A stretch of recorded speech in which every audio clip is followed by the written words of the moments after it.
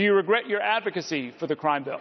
Well, look, I, I, I supported the crime bill. My husband has apologized. He was the president who actually signed it. I'm sorry for the consequences that were unintended and that have had a very unfortunate impact on people's lives.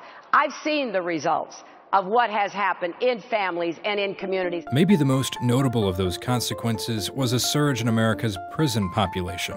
The trend might have started with Reagan, but the number of Americans in prison almost doubled during Bill Clinton's time in office. That was largely due to the 1994 crime bill, which built more prisons and meant harsher sentencing and which Hillary Clinton strongly supported. This bill would have put more police on the street, would have locked up violent offenders so they never could get out again, uh, would have given more prison construction money. Bernie Sanders supported that bill too and voted for it, despite voicing serious concerns. We are dooming today tens of millions of young people to a future of bitterness, misery, hopelessness, drugs, crime, and violence. For Newsy, I'm Zach Toombs.